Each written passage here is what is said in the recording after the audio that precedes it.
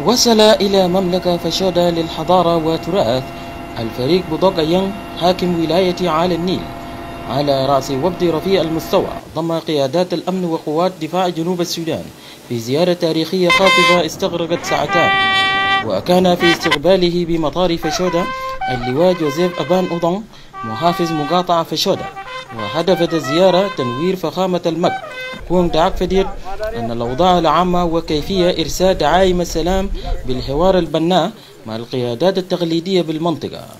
وبعد جلسة مغلقة بعث فخامة المك كون دعاك برسالة شفوية للفريق أول سلفكير ميادي رئيس الجمهورية حنى فيها سعادته على إنجازاته الجبارة نحو تحقيق السلام والطمأنينة في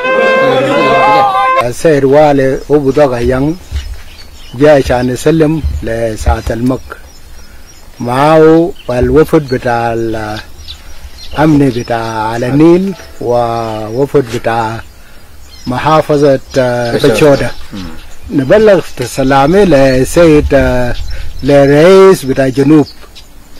سلفا كير مياردين وأكد الفريق بودوغا يانغ إن الإجتماع مع فخامة المك قد ناقش أربع قضايا أساسية ترتبط بحياة المواطنين في محيط إقليم عالي النيل أهمها نشر ومتانة العلاقات للتعايش السلمي والوحدة بين أبناء الشلك والمجتمعات المعنية بالولاية. ريس كومو معروف على مستوى جنوب السودان بأنه زول كريم جدا وبيستقبل ضيوفه في أي وقت. فجينا هسه ناقشنا معه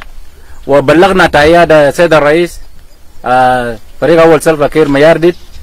ودكتور رياض مشار النائب الأول وكل النواب كانوا بلغوا للرئيس. وأدينا دعوة إنه إن شاء الله يمشي رئاسة الجنوب في جوبا عشان يتناقش عملية بتاع السلام المنشطة. وعلى هامش الزيارة التاريخية أعلن بودغيان عن تبرعه بثلاثة ثيران والمعاينات الدراسية لكبار أعيان جمعية المرأة والشباب وحتى تلاميذ وتلميذات مدرسة الشق الأساسية التي أسسها المك الراهل أيان أني عام 1975 على تلقي العلم والمعرفة من أجل مستقبل مشرق. بجي بزور المدرسة اللي أشقى ده. لكن إن شاء الله هسه هوتو أنا عارف هسه بكون ما عندكم كراسات مش كده كراسات ما في أنا بمشي ملكال بكلم مع ناس يونس سيفناغ ملكال عشان يجيبوا لهم كراسات والمحافظ ده هيجي هيجيني هيجي ملكال بعد أسبوع